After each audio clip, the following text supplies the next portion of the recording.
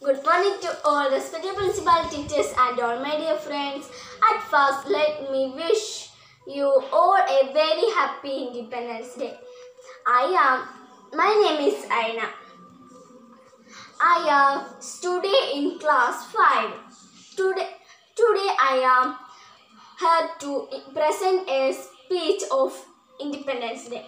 India celebrated its independence on 5th August. It is celebrated to remember a day, day we got freedom from the British rules in 1947,000 for of bread solids of the country have sacrificed the fa- their lives to get freedom.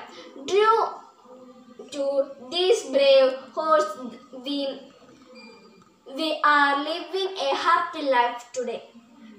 We should never uh, forget this correlation.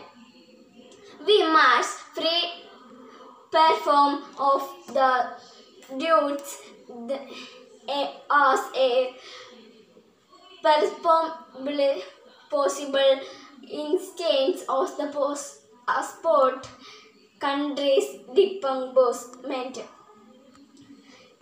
Let us the pledge uh, to today work work hard to make the country the strongest ingredient in the world. Thank you. Jai Hind, Jai Bharat.